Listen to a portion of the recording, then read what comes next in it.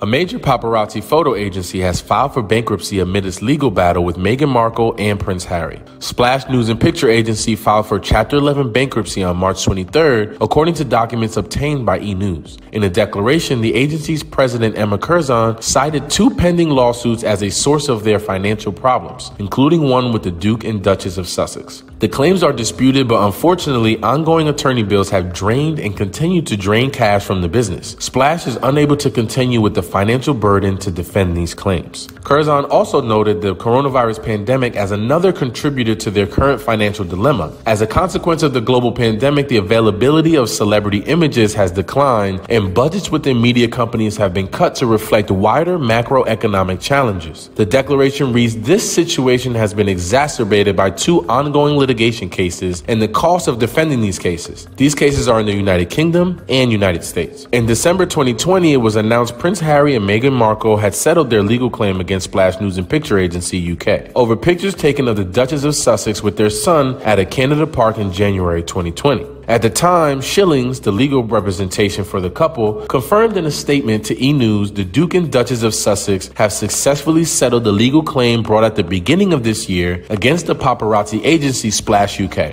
This settlement is a clear signal that unlawful, invasive, and intrusive paparazzi behavior will not be tolerated, and that the couple takes these matters seriously, just as any family would. The spokesperson also confirmed at the time that a simultaneous and similar claim against Splash US, a sister company to Splash UK, continues to move forward in the British court system. According to Curzon's declaration, the United Kingdom litigation is pending in the High Court of Justice. The plaintiffs in the United Kingdom litigation are seeking various forms of injunctive relief. The case involves free speech related issues under United Kingdom law and unfortunately has proven to be too unbearably expensive for Splash to continue its defense. Her declaration explains furthermore, if the plaintiffs were to prevail in that case, it would likely result in a large attorney fee award against Splash. She adds, notwithstanding the merits of the case, the company has sought to settle this matter, but Curzon says Splash has been unable to agree to a financial settlement within its resources. E! News has reached out to Splash for further comment.